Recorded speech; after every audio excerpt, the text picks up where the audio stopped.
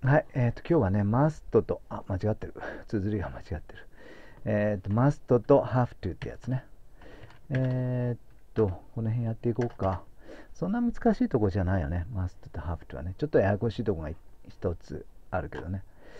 えっと、must っていうのは、ね、あるいは have to っていうのは、これは助動詞です。ね。助動詞だから can と同じで、ね、えー he can, he plays tennis これに can 入れると he can play tennis になるよね。だから must を入れても同じよ。動詞の後は原型ね。あ、動詞の後じゃない。助動詞の後は原型ね。うん、あるいは will とかもそうでね。ねじゃあ must っていうのはまずどういう意味かっていうと、えー、なんとかしなければならない。ねもう一つ意味あるんだけど、それは後でやります。ね、つまり義務を表してるんでね。ねえー、have to も同じです。have to も。have to も同じね。一応ね。ねえー、have to も同じことです。ちょっと文、なんか、うん、どうしようかな。I、どうしようかな。えー、go home。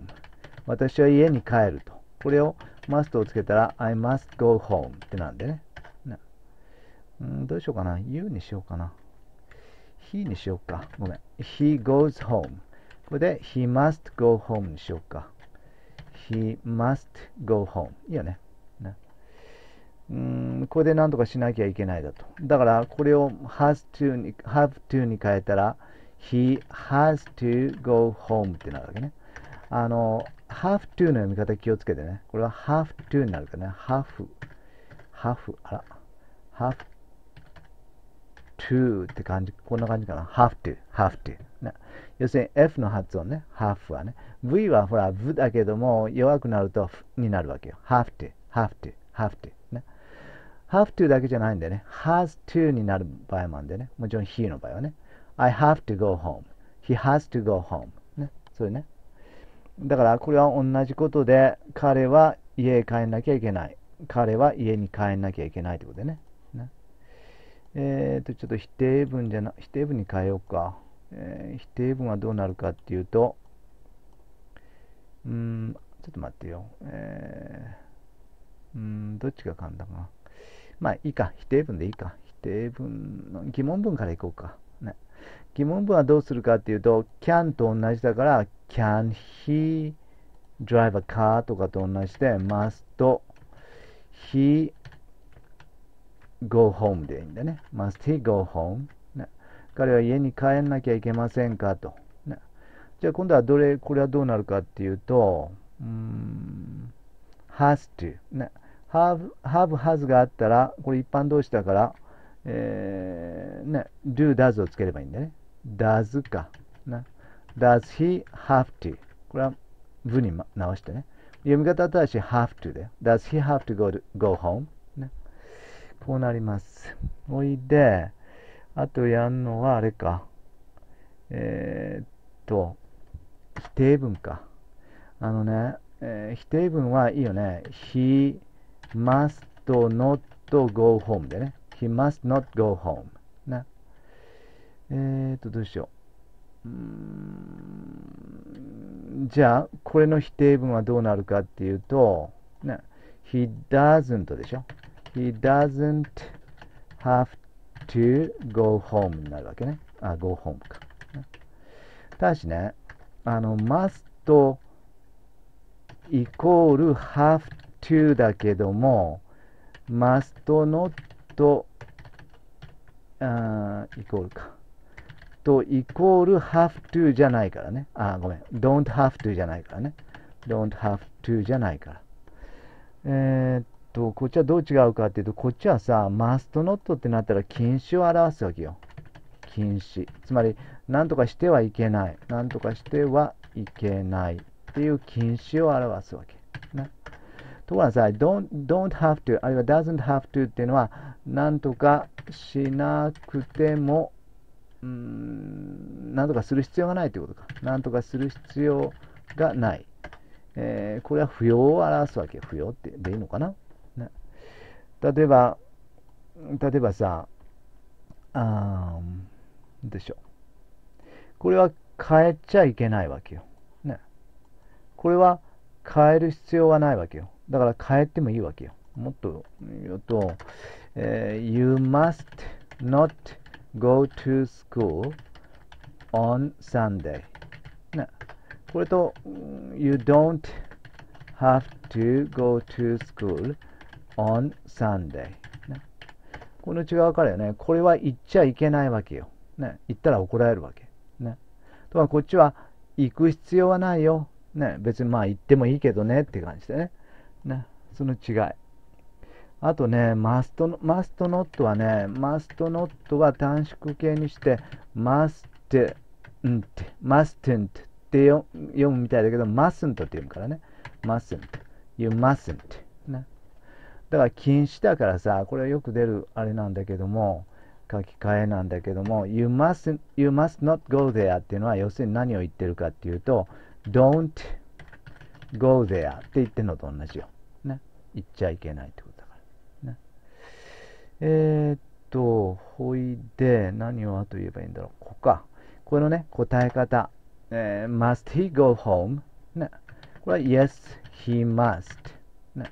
ここはいいんだけども、No の時さ、No, he must not って答えると、言っちゃいけないってことになるよね。普通はこういう時は、ね、行かなくてもいいっていうことだから、No, he doesn't have to. ね、must なんとかで聞かれたら、ちょっと答え方気をつけて。ね、Does he have to go home? これは簡単だよね。Yes, he、えー does、ね。does で聞いてんだから、does で答えればいいと。No, he doesn't. これでいいよね。えー、っと、これでいいのよね。ねあとさ、こういうふうにね、must イコール have to っていうのをなんでわざわざあんのかっていうと、まあ一応ね、あの中学ではね、もう must イコール have to でいいですわ。ね。違うけどね、かなり。例えばこれの方が軽いよね、どう考えてもね。えーあとね、なんで have to みたいな言い方があるかっていうと、これはさ、結構なないと困るわけよ。例えばね、えー何でしょう、うん、過去形、なんとかしなきゃいけなかったっていうの。ね、これ must の過去形っていうのはないからね。must はそもそも過去形なのね、これはね。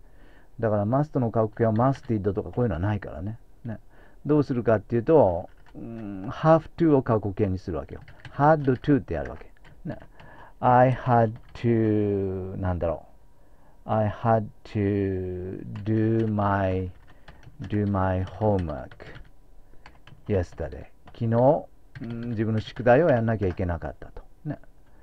あるいは未来形の時も便利なわけよ。未来形は will must とはできないわけでしょ。will 助動詞の後は動詞の原型だから助動詞の後に will must とは置けないわけよ。ということは、えー will have to だったらいいわけでね。ね例えば You will have to do your homework tomorrow まあこんな感じかな。Will have to こういうのができるから、ね、have to っていうのはわざわざあるわけよ。ねえーよろしいなんとかしなきゃいけないっていうのは must ね。うんあるいはね、もう一つだけなんだけど、ちょっと中学では多分習わないと思うけども、例えばね、うーんどうしよう。She is rich、ね。これは断定だよね。彼女は rich だって言ってるわけよ。ね。えー、うんでいいかな？She is a spy ってやろうか。a spy。彼女はスパイだと。これは断定ね。ね。断定です。ところがさ、こういうふうにも言えるわけ。She must be a spy. ね。うん。ね。これはどういう意味になるかっていうと、彼女はスパイでなきゃいけない。つまり推論してるわけよ。推理をしてるわけよ。ね。いろんな証拠から、こう、こんなことしてたと、こんなことしてたと、こんなことしてたと、こんなことしてたと。ということは、ね、いろんなとこから考えて、に違いないということでね。なんとかに違いないって意味もあるわけよ。なんとかに違いない。違いないか。あの、メイっていうのも知ってるかもしれないけど、これにもさ、なんとかしてもよい。なんとかしてもよい。と、もう一つは、えー、なんだっけ、なんとかかもしれない。なんとかかもしれない。こういう2つの意味があったじゃない。それと同じでね、マストもね、違いない。同じ推量だけども、確信はこっちの方があるんだよね。ねうん。いい ?is そのままだったら断定だけども、こういうふうに must がついたら助動詞の原型になるから、これは断定じゃなくて、ね、まだ決まってないわけよ。ねえー、分かった？えー、ちょっと早すぎたかな。ね、must と have to。ね、must。ここで have to って読むからね。have to じゃなくてね、have to。He plays tennis. He can play tennis. こういうふうに can の後、助動詞の後は原型です。ね、He goes home. He must go home. He has to go home.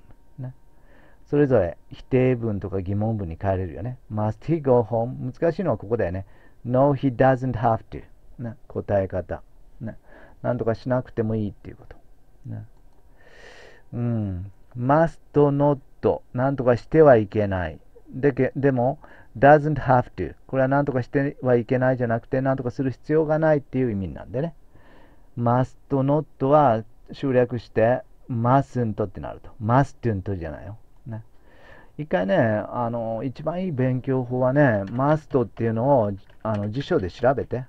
must。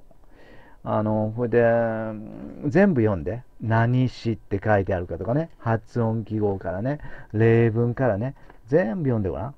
これできればね、写して、これはすごいいい勉強になる。あの、普段ね、辞書なんて、例えば、あんたたちは辞書あんまり使わないでしょ、多分。例えばさ、使ってたらさ、ブックっていうのが、どういう意味か知ってるはずよ。ね。とか、ほとんどの人は、ブックっていうのは本としか知らないでしょ。ね。えー、予約するって意味もあるわけよ。な、辞書をちゃんと一番から最後最後まで見てればそういうのがわかるはずなんでね。ねだからマストもちょっと自分で引いてごらん。ね。はい。ということで終わり。